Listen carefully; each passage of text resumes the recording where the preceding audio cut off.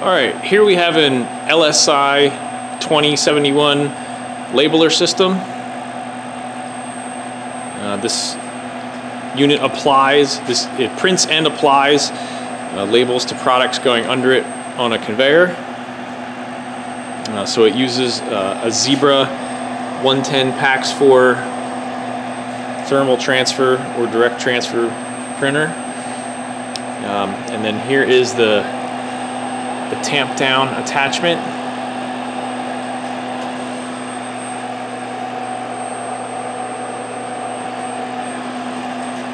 So we currently have, uh, I believe it's a 4x6 uh, label in there. So we'll just do a real fast test just to show its operation.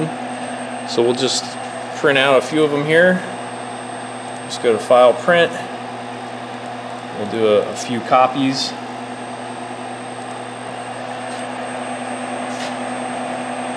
We hit print and we see the data light flash.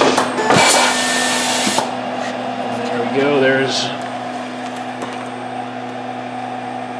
there's one right there. And then we just hit the product sensor again.